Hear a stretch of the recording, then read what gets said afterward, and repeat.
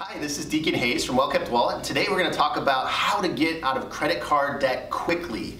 Um, when my wife and I were first married, we had 52 grand in consumer debt. Part of that was credit card debt. And so I use these tips personally uh, to get out of debt in 18 months. So the first step that you want to do is refinance your credit card debt. Uh, if you're like most people, the average interest rate is about 16%, and that's a lot. Um, you can do one of two companies. The first one is SoFi. Uh, if you have really good credit and you have decent income and, and, good employment history, you can get rates as low as 5.99% with SoFi. And I actually have a link below this video and at wellkeptwallet.com where you get $100 cash back just for uh, getting approved. And then also, if you don't have the best credit, you can check out Credible, um, and they'll help you get a better rate, much better than 16% for sure.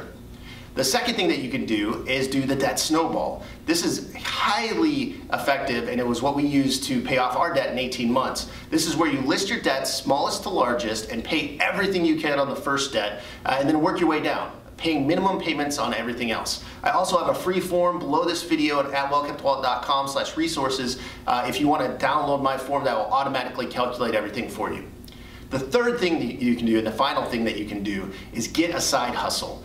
Um, I worked nights and weekends, I sold stuff, I delivered pizzas. You really need to do everything that you can to get extra income to throw at your debt snowball. And uh, also below this video, I've got a link to 40 plus side hustles that you can start today so that you can start to get rid of your credit card debt quickly.